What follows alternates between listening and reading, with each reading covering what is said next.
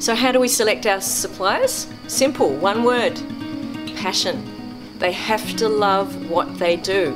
If they love what they do, they're fantastic to deal with.